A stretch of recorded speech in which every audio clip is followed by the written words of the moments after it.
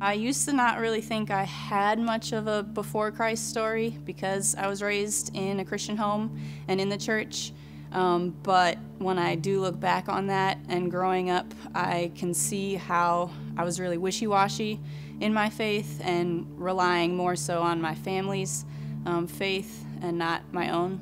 At some point during my college years, my family was going through a lot of different struggles, and it really pointed out um, a lot of sin and, and human nature that I had really noticed I had been relying on my parents and their faith and um, kind of, I guess, idolizing them.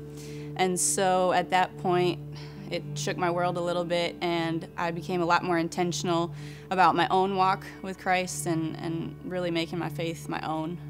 Now that I have um, made these changes and become more intentional in my faith, I've seen a lot more growth in my life and um, a lot more confidence in my identity in Christ. I want to get baptized now because it's something that I've always known I needed to do growing up in the church. It's always been in the back of my mind. Um, and there were a lot of different reasons why I chose not to, but obedience is uh, my key word for 2019, and so I'm stepping out in obedience. My name is Elizabeth, and I've been changed.